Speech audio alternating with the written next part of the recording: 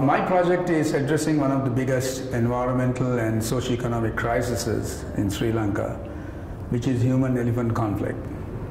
Actually, it's even been stated that human-elephant conflict is one of the is like the biggest man-made natural disaster in the country. So annually, it has a huge impact on people, on agriculture production, people's you know, social life, their livelihood, children's education, nutrition, uh, gender issues, destabilizing families. So you can see that you know, while you know, its magnitude is immense and just the economic cost of human-elephant conflict has been estimated to be 10 million US dollars per year.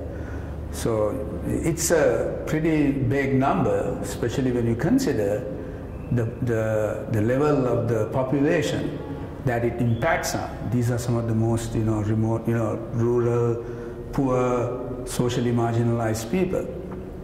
So obviously, we can see from these uh, factors that human-elephant conflict is a significant contributor to uh, keeping people in poverty, in uh, social marginalization, and depriving them from a sustainable livelihood.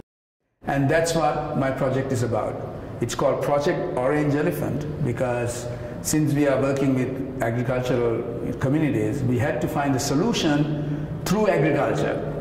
You know, we couldn't go and change these farmers to be, you know, like software engineers or, you know, uh, you know, give them technical skills. We had to use the skills they had already and the abilities they have and the resources they have and that's what the entire project is based on. The simple fact that it, you know, it works with what is there.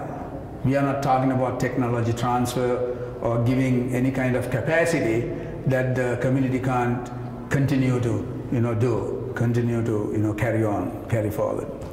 So Project Orange Elephant's main objective is to develop economies that are not impacted by elephants. So this way, these farmers have an economy that is sustainable, renewable, and cost effective.